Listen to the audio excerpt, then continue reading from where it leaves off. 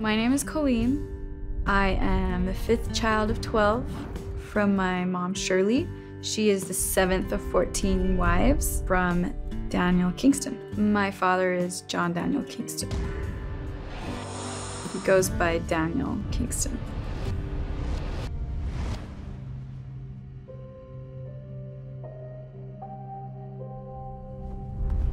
When I was 16, I was married to a 21 year old boy. I was the first wife for him. He didn't have two wives, but he, through the end of our relationship, he was planning on getting another wife because his father told him to. And I expressed to him before I ever married him that I didn't want to live polygamy. And he said that he had to because his dad told him to. He was, or he is, my second cousin. In the Kingston community, they believe in incest. And that was one of the reasons why I wanted to leave as well. I was with him for a while and ended up leaving at 17, trying to bring him with me. He didn't, he chose a religion over me and I divorced him and I've been out since 17, almost 18.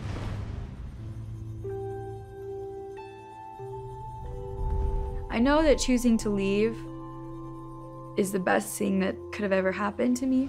I know that leaving was the right thing because I'm happier. And that's all God wants from you is to be happy. His, if his kids are happy, then he's happy. Life's not perfect and everything's not roses and rainbows and butterflies. And I know because when I first left, I like turned to alcohol. I mean, if you need to cry, cry. Life's not fair, but it's better than life in the order because it's mine and I decide what I want and I do what I want and I I'm surrounded by people I want around me and the people that hurt me I don't have to have them in my life. That's the good thing